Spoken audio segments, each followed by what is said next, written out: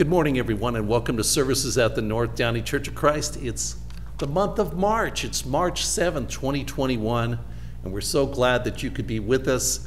Today's sermon is called Remember This Day, and we hope to have this be a memorable day as David will be preaching to us from Exodus chapter 13.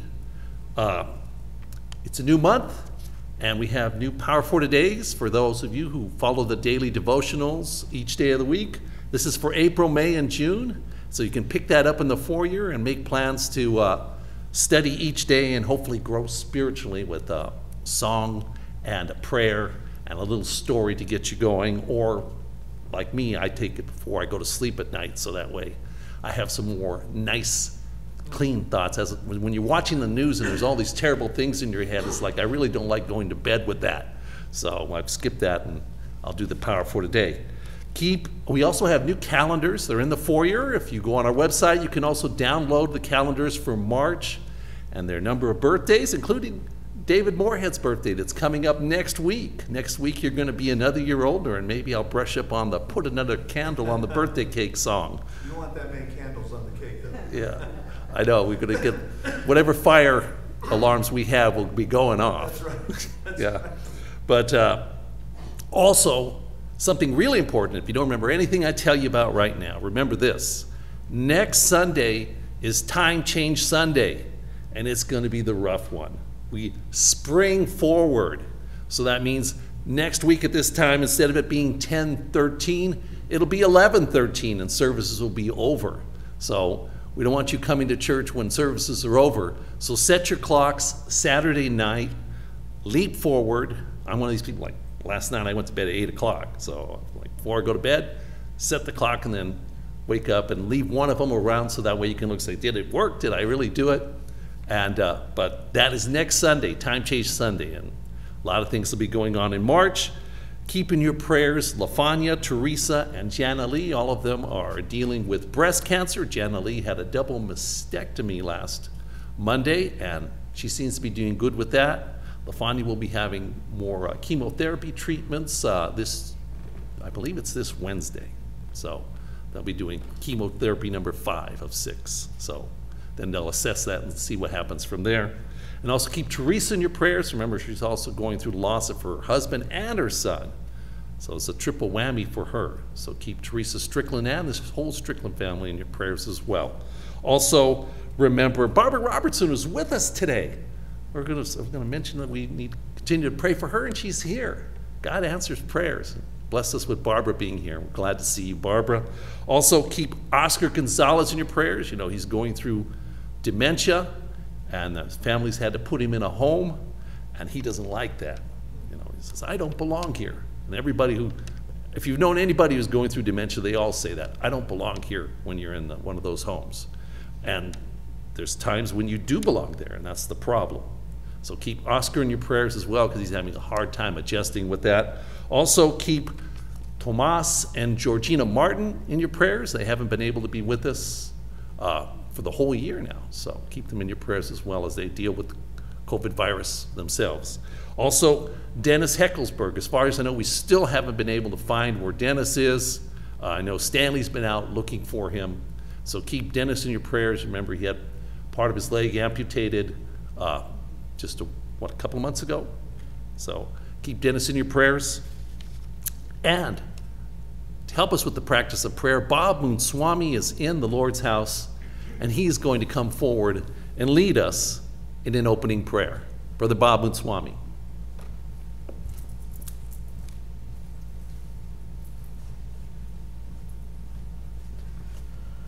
Morning, church. Let's uh, bow heads. Pray to God. Oh, Lord in heaven, thank you, Lord, for this Sunday in March, the Lord's Day. And the fact that we in church today is very special. Lord, as we look around, it's easy to forget how special we are. Even if you look around, we see so many lifeless planets around us. No one is so sure why there's so many of them, dear Lord, but you do. We know you look down upon us, protecting us, dear God, on any, in any given day from all these external forces. Life is precious. Life comes from you. We thank you, Lord, for this new day and for being here. Even though we survived the night, it is because of you. Let this morning be a time to praise you, to thank you, to love you, and as a reminder that you are the Almighty One. So, Lord, as we dedicate this day to you, we are so mindful of all our brothers and sisters who are not here in attendance. Help them to endure. Bring them back to us, your house, this house of worship. Bless, dear Lord, all who in church today. We are so glad we can be with them so we can all worship together. What a blessing. Be with us, Lord, as we sing praises to you. Bless our humble table. And we thank you, Lord, for David and his family. And we do look forward to your message from him. Bless this great country of ours, Lord. She dearly needs you. And please, we ask you to forgive us for all our sins. In Jesus' name, amen. Thank you, Bob. If you turn in your songbooks to song number 200, the song is Hallelujah, Praise Jehovah. And that's what we're here for, is to worship God. It's great to be able to see one another and to share stories and things, but the reality is we come together to worship God. We'll sing all three verses of song number 200, Hallelujah, Praise Jehovah, which is from Psalms 148. Hallelujah, praise Jehovah, from the heavens praise his name. Praise Jehovah from the highest, all his angels praise proclaim. All his hosts together praise him, sun and moon and stars on high. Praise him, O ye heaven of heavens, and ye floods above the sky. Let them praises give Jehovah, for his name alone is high, and his glory is exalted, and his glory is exalted, and his glory is exalted far above the earth and sky. Let them praises give Jehovah. They were made at his command. Them forever he established. His decree shall ever stand. From the earth, oh, praise Jehovah. All ye floods, ye dragons, all. Fire and hail and snow and vapors, stormy winds that hear him call. Let them praises give Jehovah, for his name alone is high, and his glory is exalted, and his glory is exalted and his glory is exalted far above the earth and sky. All ye fruitful trees and cedars, all ye hills and mountains high, creeping things and beasts and cattle, birds that in the heavens fly kings of earth and all ye people, princes greater, judges all. Praise his name, young men and maiden, aged men and children small. Let them praises give Jehovah, for his name alone is high, and his glory is exalted, and his glory is exalted, and his glory is exalted far above the earth and sky. Amen. Turn to song number 22. The song is a great Fanny Crosby song. It is All the Way My Savior Leads Me. And I know in David's sermon there's going to be some kind of leading going on there. So this is one of the things to prep us for that. We'll sing all three verses and then we'll have another prayer. Song 22 All the Way My Savior Leads Me. All the way my Savior leads me, what have I to ask beside? Can I doubt his tender mercy, who through life has been my guide?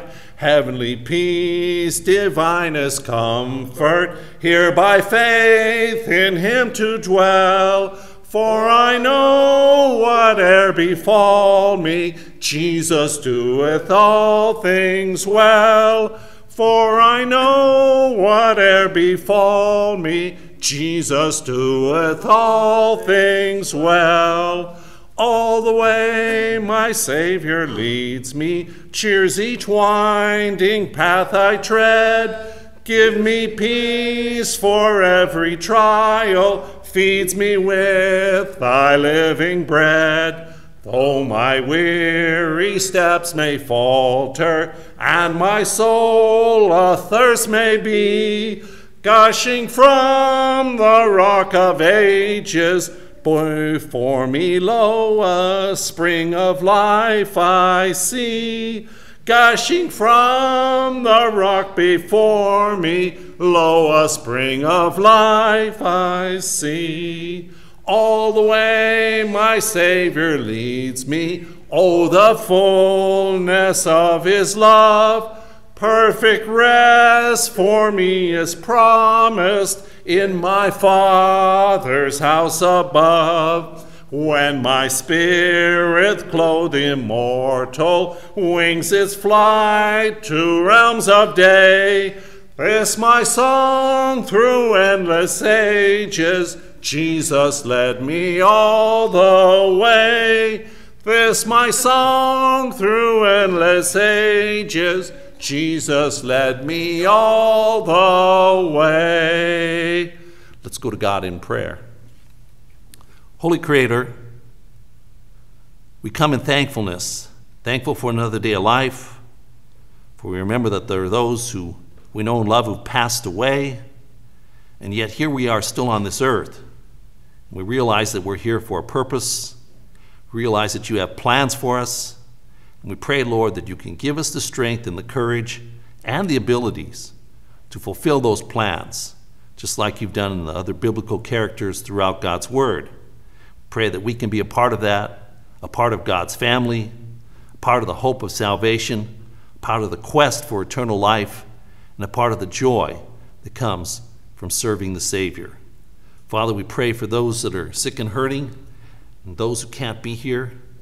Pray for Judy Moorhead, can't be here, and also Cindy Jacobs, who are both feeling under the weather. Pray for those with cancer, including Lafanya and Teresa and Jana. We ask that you heal them of their cancers. And Father, we know there are other people who are having cancer troubles. And we, Father, we pray that you remove this disease from the earth. For this once was good, but it's been corrupted. And we pray, Lord, that this corruption can be canceled out. Father, we also ask to be with those who are hurting in physical ways, including Tomas and Georgina Martin, and also Dennis Heckelsberg and Cindy's niece, Erica. Father, we ask that you bless them with healing. Father, we pray that you'll be with David as he brings us a message from God's Word. We ask that you be with Bob as he leads us in the communion service. And we ask that you be with each one of us as we go out into the mission field that is this world. For it's a tough world. It's not as easy as it once was.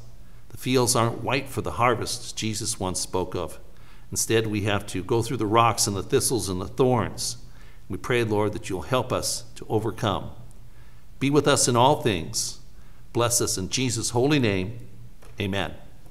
To get ready for the Lord's Supper, I'm going to ask you to turn to song number 644 Tis Set the Feast Divine. Song 644, just two verses, short verses. This will get us ready for the Lord's Supper, and Bob will be leading us in that. We'll sing 644 Tis Set the Feast Divine. Tis set the feast divine, the bread, the fruit of the vine, and saints commune before the shrine in the supper of the Lord. May we the Lord discern. His death our holy concern. We feast in faith, his coming yearn. In the supper of the Lord.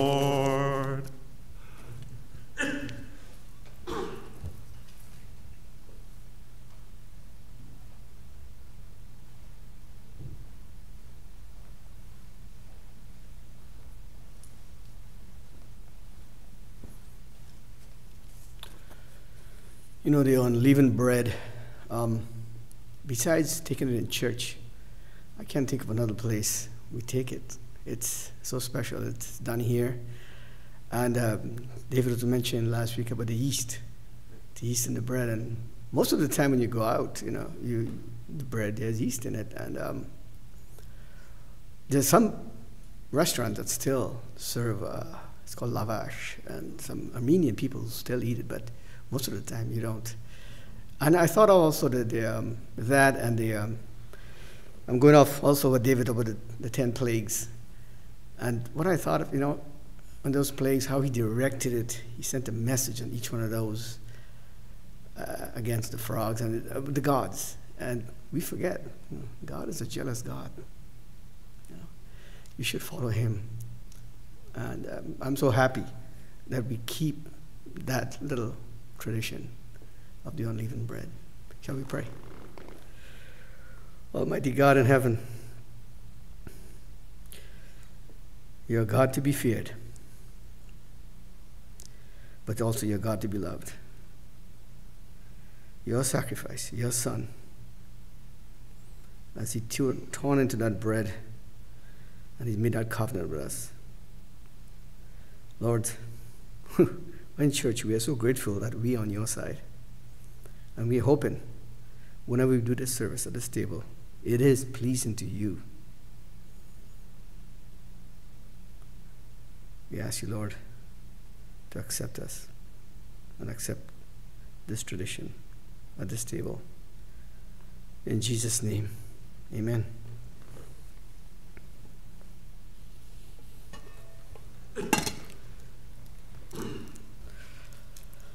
As we continue with the cup, um, I, last week I spoke a little bit about the bitter cup.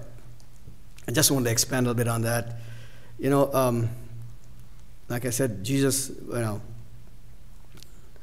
something he probably didn't want to do. And um, that bitterness, we, we have this now all, all our lives. Things we do not want to do, things we question, say, why me? But if you think of bitter decisions in your life, the ones that you make because it'll benefit other people, you make it because it's a sacrifice. And those are the ones really that pay off in the long run. Shall we pray? Dear God in heaven, this is a wonderful lesson with this cup. Lord, there's so many different parts of it the forgiveness, the sacrifice. Lord, may us, as we go through our own lives, may we be mindful of all the good things that could come out of this when we make sacrifices our own sacrifices in our own lives, particularly when they're devoted to you. We thank you in Jesus' name. Amen.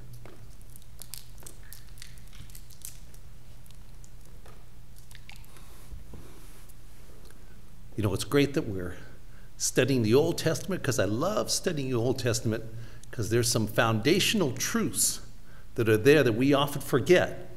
First one is that, and David is getting to this, I'm not trying to steal from his sermon, but every firstborn man, woman, and woman or child all belong to God. Also, all the firstborn beasts of the field, all these other things, everything belongs to God. And then here we are, and we say, what can we give to God? And God has asked us to give, even though He owns everything, each first day of the week. That's because He wants us to remember who belongs to everything, and that's God. Let's go to God in prayer. Father in heaven, thank you for giving to us. Thank you for blessing us. Thank you for being with us and guiding us through all these days. Father, we pray that we can give back in a way that can be humble, in a way that can glorify your name, and in a way that can save others as well. Bless the gift and the giver. In Jesus' holy name, amen.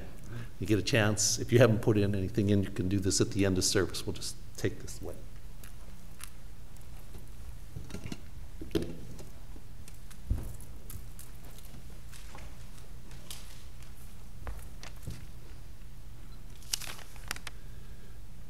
Turn in your songbooks to song number 772 and use your maroon marker to mark that song. That song will be the song of invitation after David's sermon today. Song 772. Songs, a song against procrastination. Why do you wait? So use your maroon marker and mark there. And usually, lately, I haven't been singing a song before the sermon, but this song is directly related to Exodus chapter 13, and that's song number 193, and that's Guide Me, O Thou Great Jehovah. 193. So we'll sing this and getting our mind set for David's sermon on Exodus chapter 13. I know you've been waiting patiently, so we'll just. We'll do all three verses. It's a short song. Guide me, O thou great Jehovah, pilgrim through this barren land. I am weak, but thou art mighty. Hold me with thy powerful hand.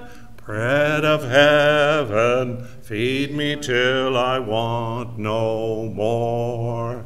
Bread of heaven, Feed me till I want no more. Open now the crystal fountain whence the healing waters flow.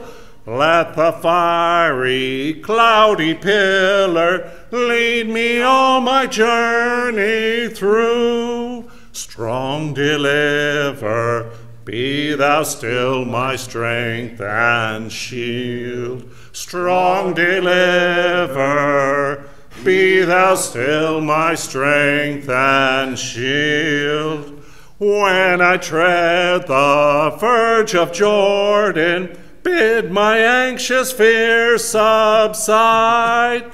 Bear me through the swelling current, land me safe on Canaan's side.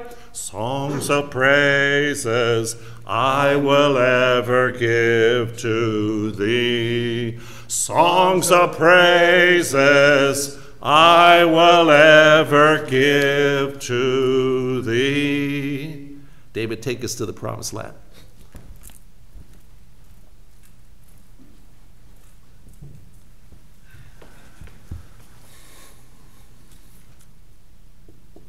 Thank you, Robert. And yes, I'll do the best I can to get you the promised land, at least in the book. Uh, and, and thank you, Bob, for your good words. Uh, always appreciate your words at the table. And of course, what Robert mentioned earlier about, about the firstborn, we'll talk about that too. And I hope that all is well with you, those of you who are at home.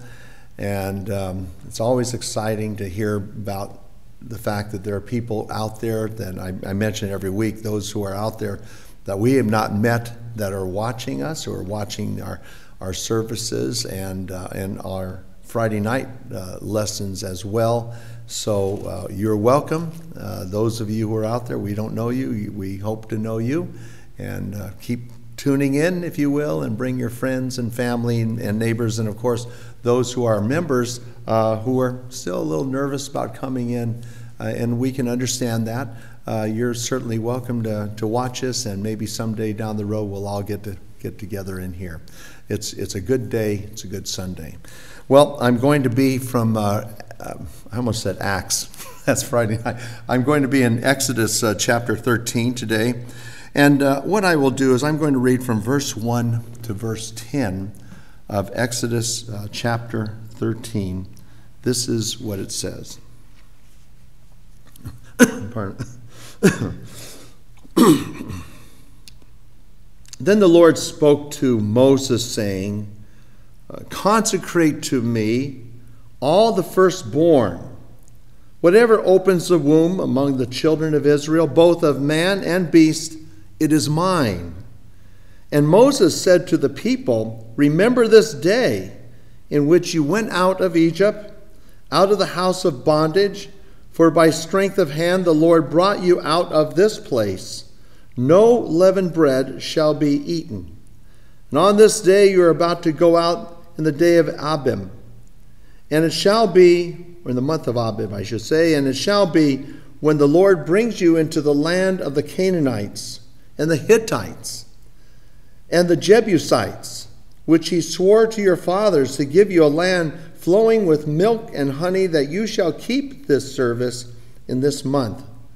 Seven days you shall eat unleavened bread, and on the seventh day there shall be a feast to the Lord. Unleavened bread shall be eaten seven days, and no leavened bread shall be seen among you, nor shall leaven be seen among you in all your quarters. And you shall tell your son in that day, This is done because of what the Lord did for me when I came up from Egypt. And it shall be as a sign to you on your hand and as a memorial between your eyes, that the Lord's law may be in your mouth, for with a strong hand the Lord has brought you out of Egypt. You shall therefore keep this ordinance in its season from year to year. May God bless this reading to us. Praise the title of the lesson is Remember this day. Remember this day.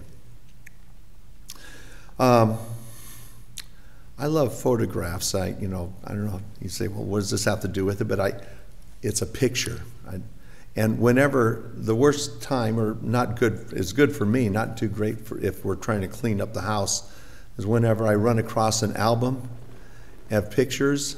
I have to sit down and look at all the pictures, even though I, I took the pictures pictures of when the kids were little, pictures of when I was younger and thinner, pictures of our wedding, pictures of all these, uh, our homes and all this. And I just sit there and look at the pictures. And Judy would be working. I said, Come here, honey, look at these pictures. And it's interesting, isn't it, that they, they capture that moment. Remember the old television commercial, a Kodak moment?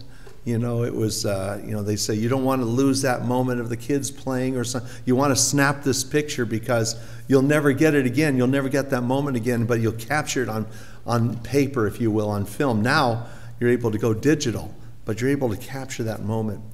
Um, I think that's one of the great inventions, uh, besides all the wonderful inventions that we've had in our uh, world um, automobiles, planes, things like that, the radio, television, all these.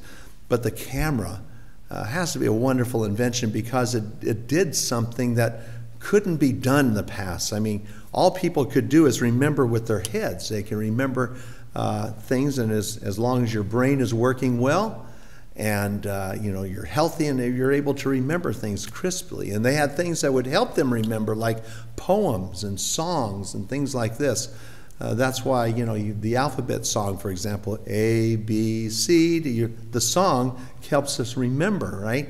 and many things were, were taught by song and poetry so people could remember these things. But, but a picture, a picture is just something special. Before they did pictures, uh, before the camera was invented, all of that, of course, if you ever look at the old newspapers from the 1800s and things like this, everything was drawn. You know, they had the, uh, an artist had to draw something and say, this is what this battle looked like, and draw, and they'd, they'd have a special stamp for that, and they put it on the printing press, and there you'd have that. But that, that picture is wonderful. Well, uh, wouldn't it have been great if there was a camera in this day? wouldn't it have been wonderful if some, someone, if they had a camera or a movie camera or video or something like this of Moses speaking to this throng of people, talking to all these Hebrews, they're about to leave. This is nighttime too, right? They, uh, you know, they, they'd already, apparently, they've, they've gotten the things from the Egyptians. They've, uh, they're preparing, they, they've prepared the, the meal and, uh, and they're, they're taking it. Remember, they had the dough and all of this, and they, they've eaten the lamb, and now they're ready for their journey. They're ready to go out and leave and, and leave their, their home of bondage, get that out of there and, and go to a new life. And Moses is telling him this. He tells him this, this uh, message. And of course, the first part of it is about the consecration that God told Moses. And I'll read it again. Lord spoke to Moses and said, Consecrate to me, or, or put aside or separate. That's the word consecrate, you know. Put aside to me all the firstborn, whatever opens the womb among the children of Israel, both of man and of beast, it is mine. And as Robert so well put it, um, that this belonged to God. And someone say, No, this is my kid. You can't have him. This is my, my animal. I don't, I don't want anyone to have him. The Lord's saying, You know, I've had a big part in rescuing you. All I'm asking for is your firstborn. And you know, long ago in the book of Exodus, it was the, that, that boy, that little boy, when it was born, that was the command of Pharaoh to kill all those baby boys and throw them into the water and let them drown. And now at this moment, God isn't saying, I want you to sacrifice your child or kill your child. I'm just saying, you are going to consecrate, set this child apart as mine. And, um, and then he says, I want you to do this with your animals too. The, the firstborn of your animals. So if you have a lamb, that belongs to me. You know, a cow, I guess, belongs to me. And as we read later on, there's one that, that God didn't want. We'll read about that in just a moment. But they said, I, I want you to do that.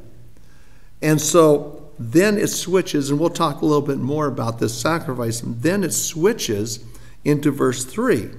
It's like this is something God told Moses. Now Moses talks to the people as they're standing there, and he says, Remember this, this day in which you went out of Egypt, out of the house of bondage. He said, so you are, you are, everything's going to be different now. I want you to look around. You know, that's basically it. You need to re- remember this, capture this in your mind. A Kodak moment. Think about this day.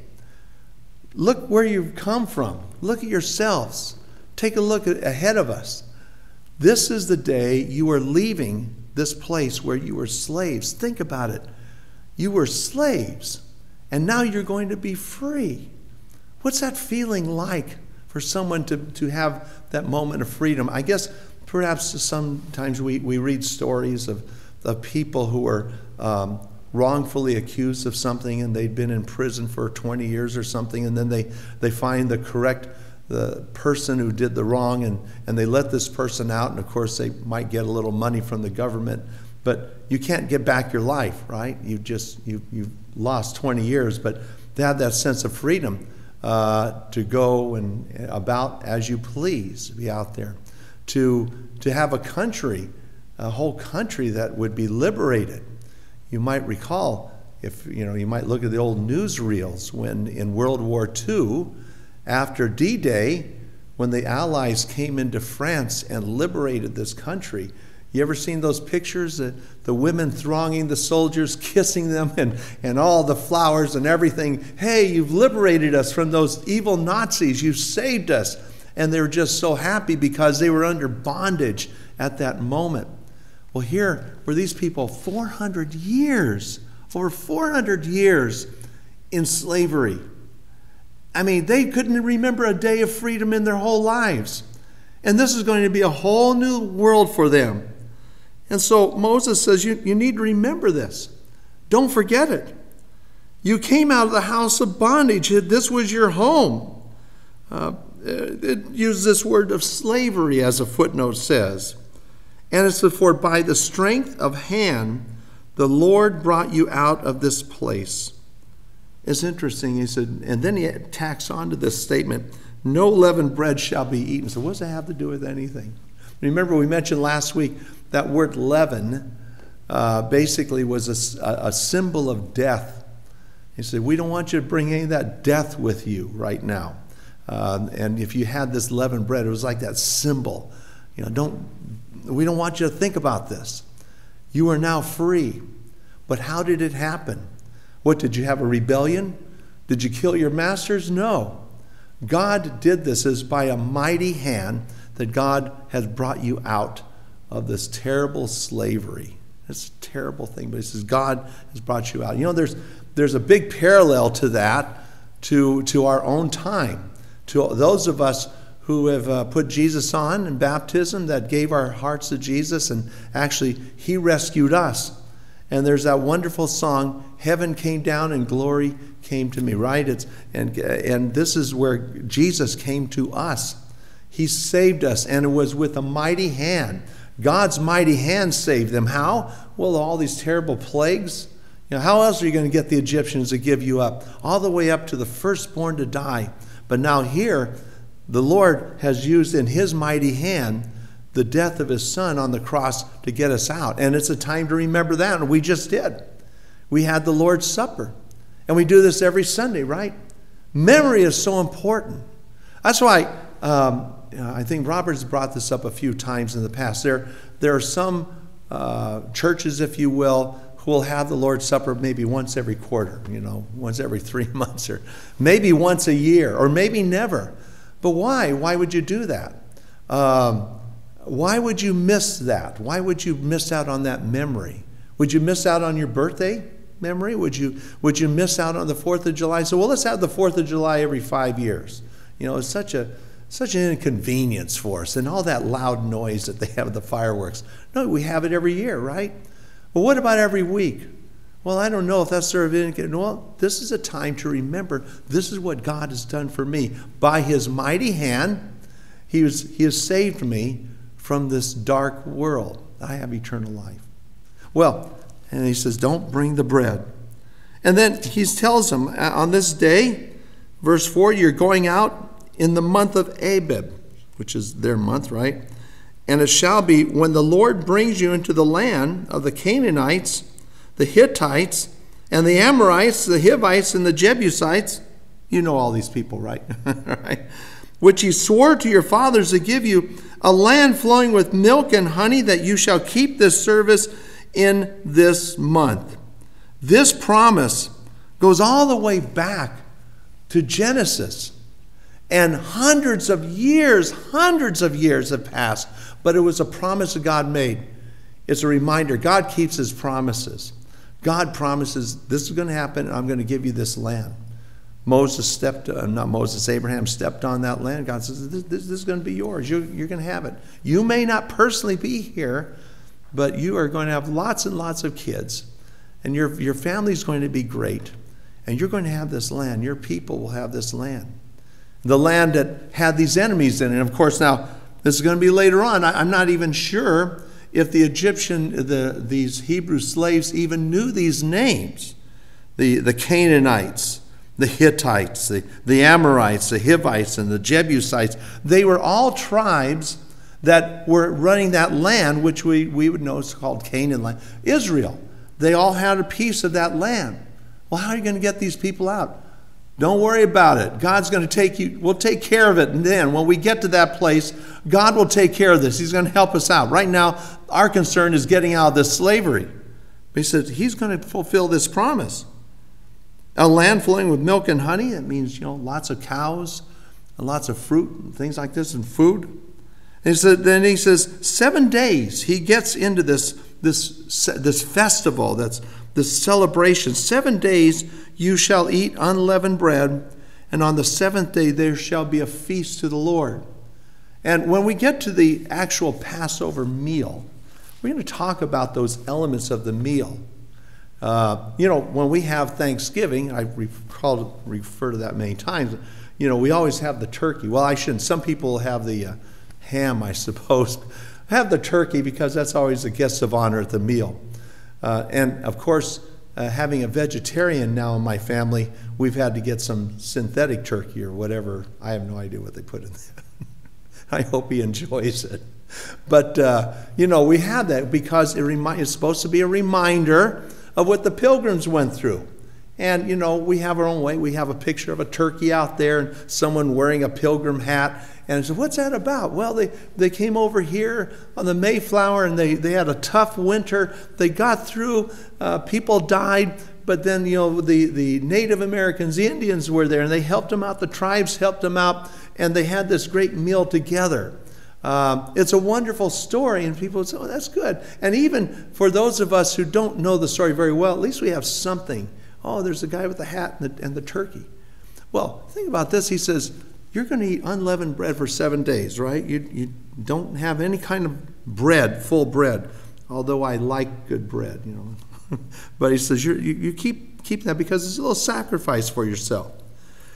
And then on that seventh day, you're going to have a feast. Unleavened bread shall be seven days. No leavened bread shall be seen among you. Remember, we said that was about death, leaven, right? Nor shall leaven be seen among you in all your quarters. You shouldn't have this around you at this time. And then there will be this moment. Uh, and you know, we read about this in Exodus chapter 10, and it is practiced today in Jewish communities. A child is going to ask the question Usually it's the youngest child. They have the meal. Daddy, what does this mean? Why are we eating this? Why are we having this meal? And uh, have you ever had any Jewish friends and have a Passover meal with them? They'll do this. And, and he says, You shall tell your son in that day, this is done because of what the Lord did for me. That's interesting. He's not saying did for our country, which he did, but he said what he did for me. That's, that's, that's important to think about. You ever thought about this? You know, it's what God did for me. You know, what, what did Jesus do for me? And when I, my personal sins, my life, what did Jesus do for me? He did a lot for me. He died on the cross. That's for me. I think that's, that's a refrain in one of our songs. For me, he did this. He did this for me. And so this, this is where you personalize it. It says, I personally am experiencing freedom. This is done because of what the Lord did for me when I came out of Egypt. And by the way, what about all those people later on, all the future generations? Uh, the, the generations who live today, the Jewish generation, when they have the Passover, are they saying, God did this for me? Well, they're celebrating for what happened to them and the good things that happened to them. So he said, This shall be a sign to you on your uh, hand and as a memorial between your eyes that the Lord's law may be in your mouth. For with a strong hand, there we go again, that strong hand, the Lord brought you out of Egypt. You know what they're talking about? He says, You need to keep this in front of you. This, we just have short memories. Too bad they didn't have a picture camera there. But he said, We, we have such short memories. And he says, What you need to do is take God's law, and they would have these little strips. I don't know, I think of a fortune cookie, but nothing like that. But and these little pouches, maybe little, they call them cubicles, little pouches, and you would put in there a kind of a, a, a, written part of the law of God, God's word, you know. And they put the pouches, and you did a couple of things. One, you could bind it to your arm, you know, and uh, it would have that pouch hanging around your arm, you know. And, uh, or, and the other one would be that you'd hang in front of your eyes. How would you do that? Well, that's why you see, see the shawl. You know, you see these pictures of the Jewish men, uh, maybe old paintings and things like this. They would have this, and they would have this little pouch hanging down, you know. Uh, some people would have a couple of these. Some would have a number of pouches hanging down, you know. And it's it very much like the story. Remember the woman had the bleeding problem for years, and, and she said, If I can just touch the hem of his garment, I'll be healed. Why? What was on the hem of the garment? The pouches. Jesus wore this too, you know. And so it was like, You're going to keep this in front of you. How, how, every day? Yeah. Every day, he said, uh, It'll be a sign to you. What's the sign? About the salvation, about the fact you've been saved. He says, You need to remember this every day. Perhaps today, oh, I wouldn't, uh, but maybe a tattoo. what if you had a tattoo like that? You know, Jesus saved me. I'm not saying, I'm not encouraging people to do that. There's, there was a picture that I saw uh, in the newspaper, one of the Christian Chronicles, of an elder who did this, and he had tattooed on his arm these little symbols. One was an arrow pointed down, and then there was another arrow with the, or another sign of a cross, and then another arrow pointing up. And I thought, that's. And you know that's a conversation starter because someone's going to say, well, what's, what's that about? And that's right. He can say, well, Jesus came down, he died on the cross, he was, he was resurrected, and I'm saved. And that would be, that's his talking point. not encouraging you to go out and do that, but that's what he did. And, and that's what the Lord was telling them. So you guys need to remember this because there's going to be a time when you'll forget. So he says, Keep remembering these things. You shall therefore keep this ordinance in its season from year to year. And he says, when, when the Lord, verse 11, brings you into the land of the Canaanites, he swore to you and your fathers and gives it to you, you shall set apart to the Lord all that open the womb. That is the very firstborn that comes from an animal which you have, and the male shall be the Lord's. But every firstborn of a donkey you shall redeem with a lamb. I'll get to that in just a moment. If you like, if you could turn over here to, to Numbers chapter 3. Numbers chapter 3. Um, interesting verse. Numbers uh, chapter 3, verse 12.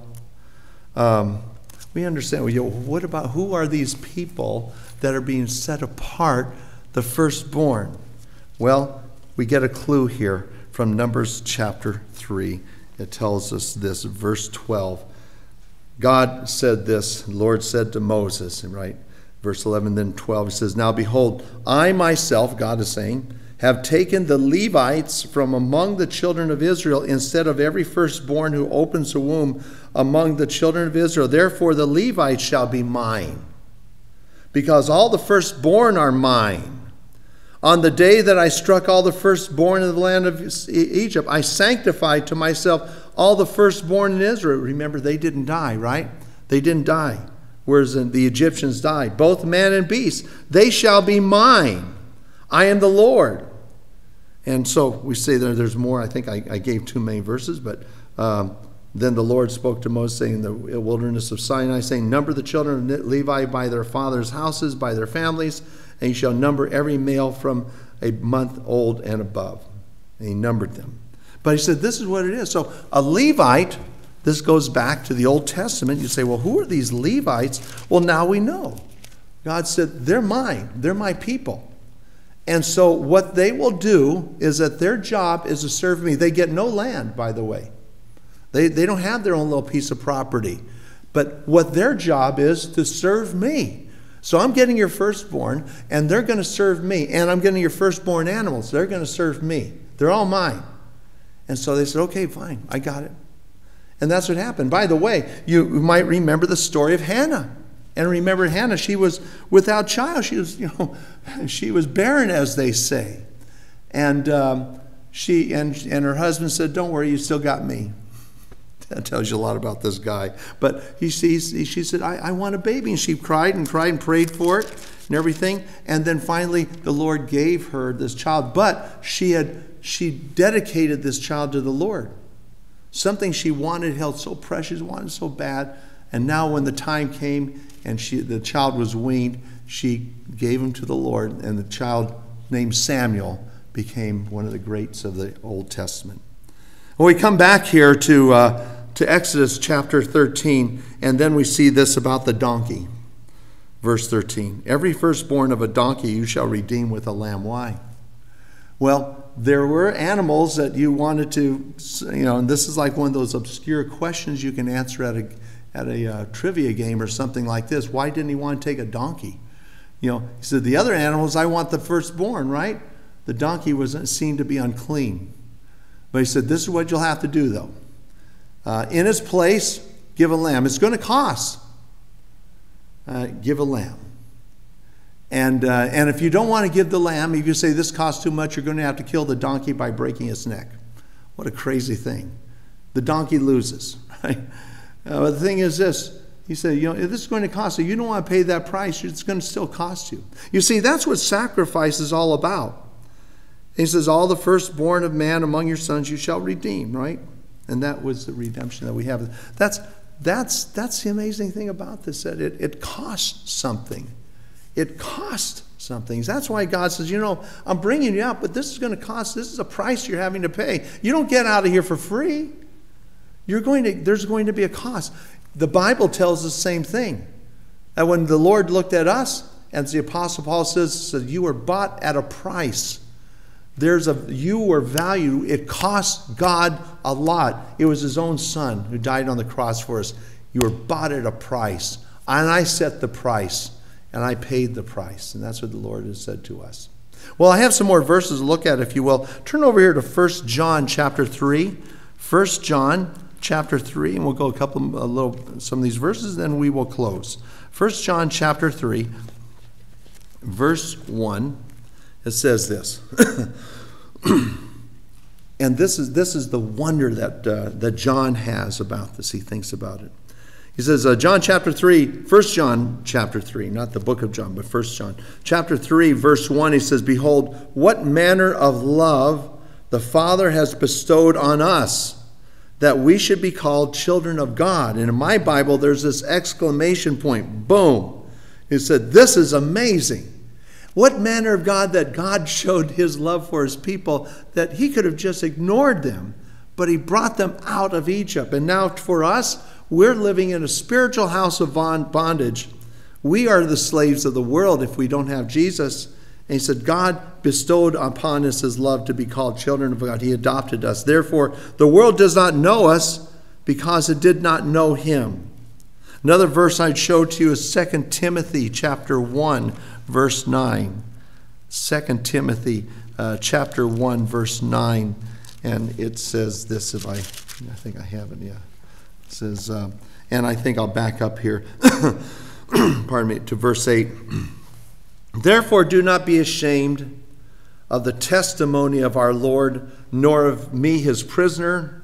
Uh, Paul is saying this to Timothy, but share with me in the sufferings of the gospel according to the power of God, who has saved us. And this is the powerful thing He has saved us and called us with a holy calling, not according to our works but according to his own purpose and grace, into which was given to us in Christ Jesus before time began. This is an amazing thing.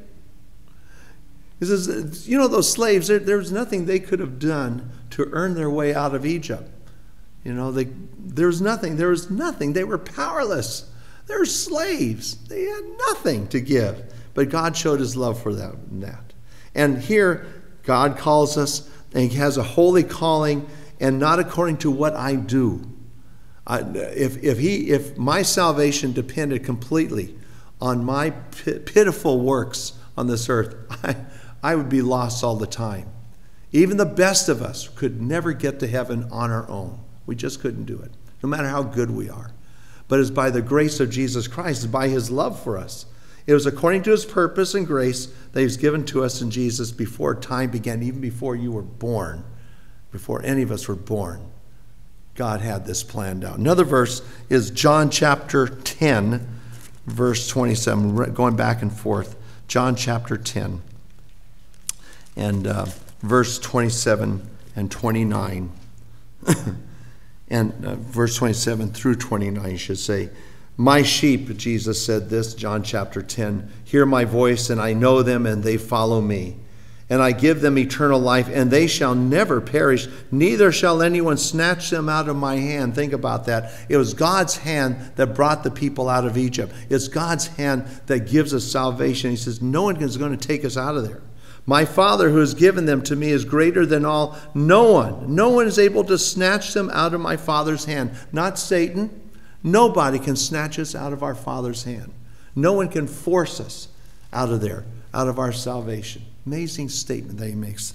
And finally, last verse is 1 Peter chapter 5 verse 6. I know I'm having you go back and forth there. The Bible is good exercise though, right? 1 Peter chapter 5 verse 6. He says, "Therefore, humble yourselves under the mighty hand of God." There's that word, that mighty hand, you know. He says that he may exalt he says that he may exalt you in due time casting all your care upon him, for he cares for you. The mighty hand of God. He brought the people out of Egypt and gave them a new world, a new life, a whole new world, like the song goes, right? He brought us out of this world of darkness by his mighty hand that pressed his son to die on the cross. And now we have this. We have this new world, this new life for us and heaven waiting for us. And he says, You humble yourselves under that mighty hand, and he will exalt us. It's not by my strength, it's not by my power, not by any money that I can give to the church or anything like that. It is by the grace of Jesus Christ. That's why it's great to be a Christian. Our song again is what? Why do you wait? That's what my tax lady says to me. Why have you waited to put, file your taxes? But there's more than that. Why do you wait? If there's someone waiting to put Jesus on, to be believe in Jesus, to accept Him as your Lord and Savior, to be baptized in the Christ, uh, those of you who are watching, you know who you are. If you're not saved, don't let a day pass. God is waiting to save you. He wants you to give your life to Him, and uh, it may cost, right? But if you want to do that, make that decision today. If you do not have access to uh, a church or baptistry, let us know. We'll, we'll be happy to help you. And those of us who are in the building, if anyone needs to come forward uh, for encouragement or prayers, whatever it is, we're here to help in any way we can. Let us all sing at this time.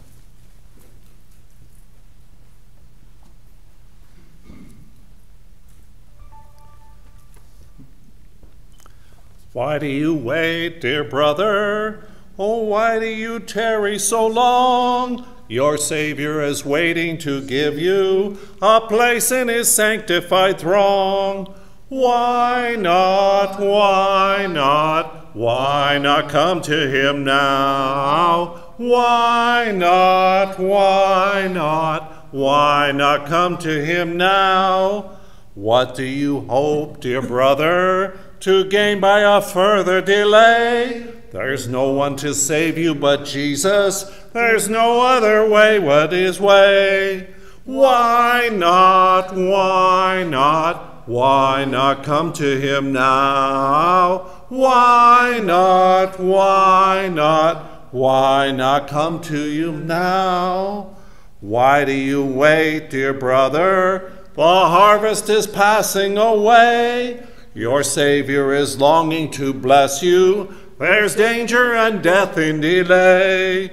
Why not? Why not? Why not come to him now? Why not? Why not? Why not come to him now? Amen. David, send us home with a prayer. Okay, I sure will. Again, uh, thank you, Robert, for the singing. Appreciate all of that. And it is something to think about. Why wait? Don't wait. Um, hope you have a wonderful week and hope all things work well. Be healthy, be careful, be safe, uh, be faithful. Trust the Lord throughout all of this. This too shall pass, what's going on in our life, whether it's disease or politics or all the problems that are going, that will all pass. What will stay forever is is our salvation, Jesus Christ. And so I hope this is all good for you. Let me read this to you. The Lord bless you and keep you. The Lord make his face shine upon you and be gracious to you. The Lord lift up his countenance upon you and give you peace. Heavenly Father, thank you so much, God, for what we've read, what we've studied. Thank you, God, for what you did for those, those poor slaves back then. We know it's hundreds of hundreds and hundreds of years since that all happened. Father, and maybe some ways we can't identify with it, but we can when we think about what life would be like uh, in a world where everything I've done is controlled, um, kept in poverty, forced to work hard, building pyramids and all that. What a hard thing. And yet, this had to be a true shock, God, to those people to say, Good morning, you've got a new day, you know, new life. And it's because that strong hand of yours, God. And today, Heavenly Father, we're, uh, we, we think about that strong hand today. You protect us, you give us eternal life, you've, you've saved us because of your Son. You, you, you just care about your hand is there protecting us. And uh, we pray, God, for that. We pray our faith would be strong in you. And we pray that our hearts would be right with you. And we thank you every day, God, that you forgive us of our sins. And we know that we're not perfect. We fall down, we fall short, we make mistakes. But we know, God, that you promise us that you're still there. You still love us and you take care of us. So we pray, God, that this lesson will have been a blessing to all. And we pray that we will bless you for all the good that you are, who you are, how wonderful you are as our God. And bless your Son, Jesus Christ. And to bless the Holy Spirit who makes our time together here possible. It's in Jesus' name we do pray. Amen. God bless you and keep you. We'll see you next time.